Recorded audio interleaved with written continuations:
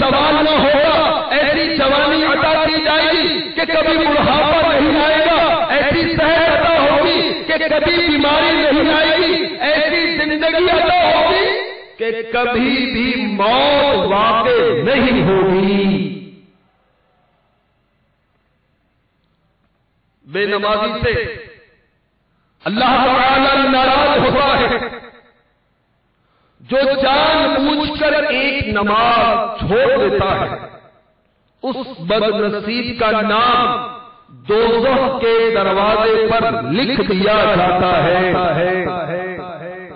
نماز میں سستی کرنے والے کو کب اس طرح دبائے گی کہ اس کی پسلیاں ٹوٹ پھوٹ کر ایک دوسرے میں پیبست ہو جائیں گی۔ اس کی قبر میں آپ بھڑکا دی جائے گی۔ بے نمازی کی قبر پر خوفناک گنجا صاف مسلط کر دیا جائے گا۔ نیز قیامت کے روز بے نمازی کا حساب سختی کے ساتھ لیا جائے گا۔ جان بوجھ کر نماز قضا کرنے والوں کے بارے میں قرآن پاک میں ارشاد ہوتا ہے۔ سورہ معون آیت نمبر چار اور پانچ۔ فويل للمصلين الذين هم عن صلاتهم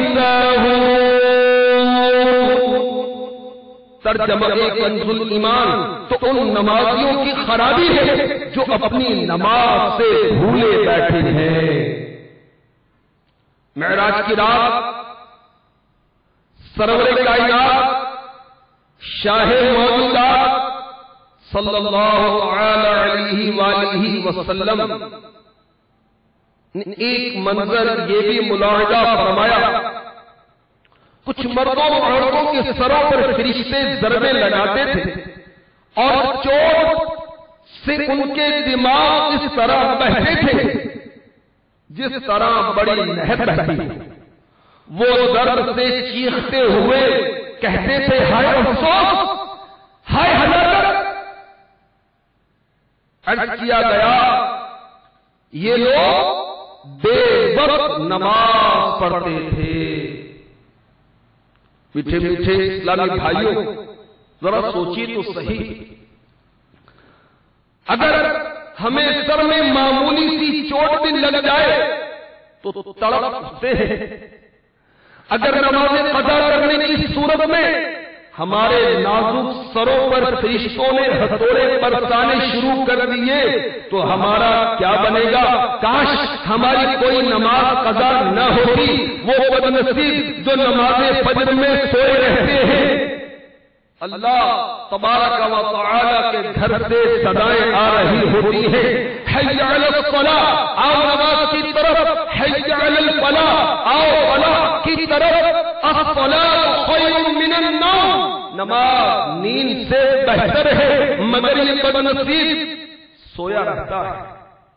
اور اعلی حضرت رضی اللہ تعالی عنہ کے اس شعر کے مصداق گویا ہوتا ہے دن لہو میں کھونا تجھے، شب صبح تک سونا تجھے، شرم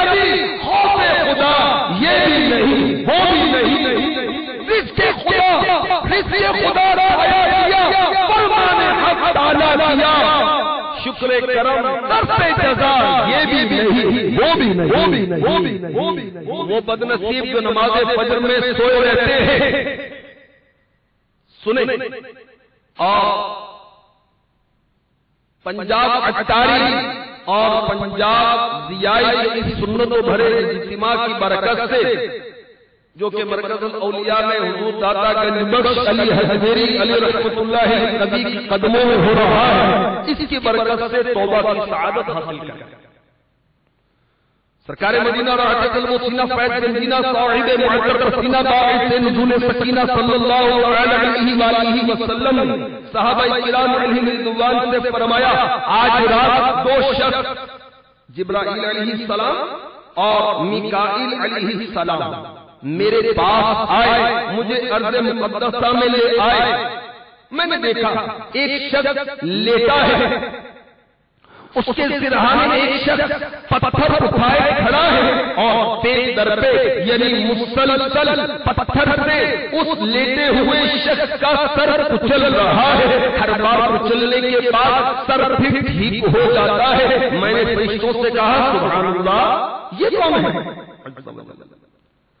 عرض کیا، آگے تشریف لے چلے مزید مناظر دکھانے کے بعد فرشتوں نے عرض کیا، پہلا شخص جو آپ صلی اللہ علیہ وآلہ وسلم نے دیکھا، یہ وہ تھا جس نے قرآن یاد کر کے چھوڑ دیا اور فرد نمازوں کے وقت سو جانے کا عادی تھا۔ اس کے ساتھ یہ برتاؤ یعنی اس کا سر پتھر سے جو مسلسل کچلا جا رہا ہے، اس کے ساتھ یہ برتاؤ قیامت تک ہوگا۔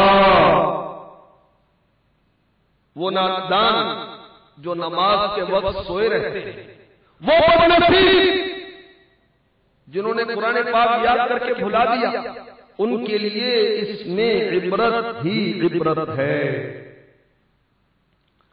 قطن نمازیں قضا کرنے والے جھوٹی قسمیں کھانے والے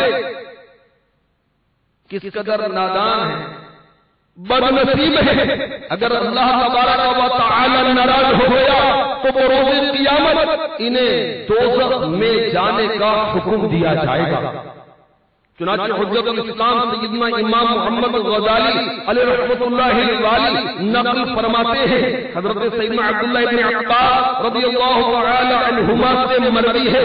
قیامت کے دن ایک شخص کو اللہ تعالی کی بارگاہ میں کھڑا کیا جائے گا اللہ تبارک و تعالی اس شخص کو جہنم میں جانے کا حکم فرمائے گا، وہ غرض کرے گا، یا اللہ عز و جل، مجھے کس لیے جہنم میں بھیجا جا رہا ہے؟ ارشاد ہوگا نمازوں کو ان کا وقت گزار کر پڑھنے کی وجہ سے اور میرے نام کی جھوٹی قسمیں کھانے کی وجہ سے۔ مکاشفت القلوب میں ہے۔ ایک شخص کی بہن کا انتقال ہو گیا۔ وہ دفن کر کے لوٹا واپس آیا۔ تو اسے یاد آیا کہ اس کی رقم کی تھیلی قبر میں گر گئی۔ چنانچہ وہ پلٹ کر بہن کی قبر پر آیا۔ قبر کو کھودا تاکہ اپنی رقم کی تھیلی نکالے۔ جب قبر کھودی رکاوٹ ہٹائی کیا دیکھتا ہے؟ اس کی بہن کی قبر میں آگ کے شعلے بھڑ رہے۔ چنانچہ جوتوں قبر پر مٹی ڈالی غمگین روتا ہوا ماں کے پاس آیا پوچھا امی جان میری بہن کے اعمال کیسے تھے؟ بولی بیٹا کیوں پوچھتے ہو؟ اٹکی میں نے اپنی بہن کی قبر میں آگ کے شعلے بھرتے دیکھے ہیں۔ یہ سن کر ماں رونے لگی۔ اور بتانے لگی بیٹا افسوس تیری بہن نماز میں سستی کیا کرتی تھی اور نماز اوقات گزار کر پڑھا کرتی تھی یعنی نماز کو قضا کر کے پڑھتی تھی. ہو گیا اس سے خدا ناراض اگر۔ او بے نمازی! او نمازوں کو قضا کرنے والے کہا ملازمت دوستوں کی خوش خوشیوں میں مشغول ہو چھکنے کی سعادت محروم رہنے والے نانا ہو خدا ناراض اگر کب تم نے آگ سے جائے گی بھر بے نمازی تیری شامت آئے گی کب کی دیوار بس مل جائے گی۔ تو سب تیری پسلیاں دونوں ہاتھوں کی ملے جو انگلیاں۔ عمر میں چھوٹی ہے، ہر کوئی نماز۔ چل ادا کر رہے تو آ غفلت سے بات کر لے توبہ کر لے توبہ کر لے توبہ رب۔ کی رحمت ہے بڑی۔ قبر میں ورنہ سزا ہوگی۔ بڑی صلو علی الحبیب۔ صلى الله تعالى على محمد. طوبوا